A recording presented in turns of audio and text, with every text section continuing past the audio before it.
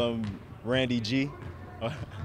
oh, I got like a thousand nicknames. Him, Randy G, uh, Rand Deasley, you know, just to have a few. So first off, he's a he's an amazing guy, uh, great friend too. On the court, his his goal is to lock down any any top scorer, any top scorer that the other team has. Since freshman year, Randall probably guards every single game the best player in the court, which makes our job easier as a team. Oh, nice steal. Take away by Gaskins. Flash have numbers. Randall drives. Miles rebound and score.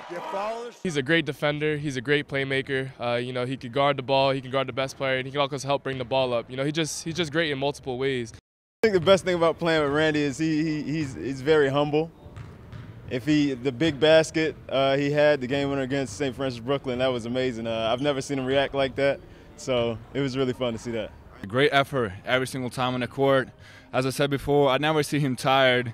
Contact, no whistle. Gaskin scores. When he gets uh, locked in, when he gets motivated, I mean, it's, it's really scary. Uh, it, it, really helps us. It really helps the whole team out, uh, picking up the intensity of the team.